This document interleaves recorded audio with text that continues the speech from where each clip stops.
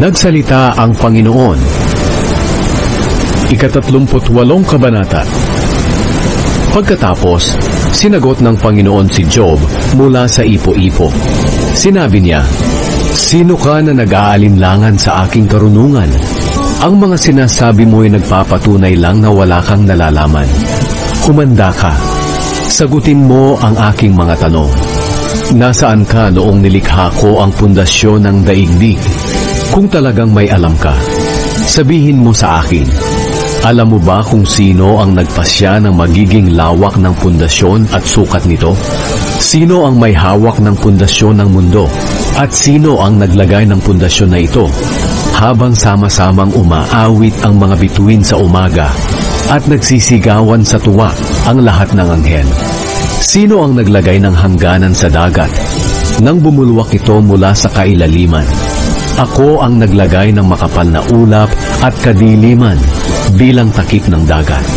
Nilagyan ko ng hangganan ng dagat, parang pintuang isinara at nilagyan ng trangka. Sinabihan ko ang dagat, hanggang dito ka lang at huwag kang lalampas. Hanggang dito lang ang malalaki mong alon. Minsan ba sa buhay mo, Job, ay nautusan mo ang umaga na magbukang liwayway para ang ningning nito ay lumiwanag sa buong mundo at mapatigil ang kasamaang ginagawa kapag madilim? At dahil sa sikat ng araw, ang daigdig ay malinaw na nakikita, katulad ng marka ng pantatak at lukot ng damit. Ang liwanag ay nakakapigil sa masasama dahil hindi sila makakagawa ng karahasan sa iba. Ikaw ba'y nakapunta na sa mga bukal na nasa ilalim ng dagat o sa pinakamalalim na bahagi ng dagat? Naipakita na ba sa iyo ang mga pintuan patungo sa lugar ng mga patay? Alam mo ba kung gaano kalaki itong mundo? Sabihin mo sa akin kung alam mo ang lahat ng ito. Alam mo ba kung saan nanggaling ang liwanag at dilim? At kaya mo ba silang pabalikin sa kanilang pinanggalingan? Oo nga pala, alam mo ang lahat ng ito dahil ipinanganak ka na bago palikhain ng mga ito at matagal na panahon ka nang nabubuhay.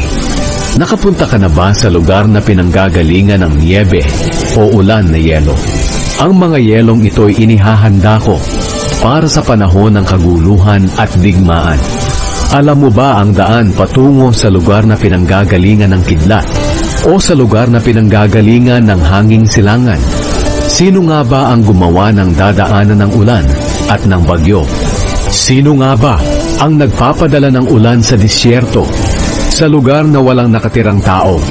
Sino ang nagpapadala ng ulan sa ilang para tumubo ang mga damo? Sino ang ama ng ulan, ng hamog, at ng yelong mula sa langit? Ang tubig ay nagyayelo na kasing tigas ng bato, pati na ang itaas na bahagi ng dagat. Kaya mo bang talian o kalagan ng tali ang grupo ng mga bituin na tinatawag na Pleiades at Orion? Mapapatnubayan mo ba ang mga bituin na lumabas sa tamang oras? Maituturo mo ba sa grupo ng mga bituin tinatawag na malaki at maliit na oso ang kanilang daan? Alam mo ba ang mga tuntuning umiiral sa kalangitan? Ito kaya'y mapapairal mo rito sa mundo? Mauutusan mo ba ang ulap na umulan? Mauutusan mo ba ang kidlat na kumislap? Mapapasunod mo kaya ito? Sino ang nagbibigay ng karunungan at pangunawa ng tao? Sinong napakarunong ang makakabilang ng mga ulap? Sinong makakapagbuhos ng tubig mula sa langit upang ang mga tuyong alikabok ay maging buo-buong putik? Maihahanap mo ba ng pagkain ang mga leon para sila ay mabusog habang sila'y nagtatago sa kanilang lungga o sa maliliit na punong kahoy? Sino ang nagpapakain sa mga uwak kapag sila'y nagugutom?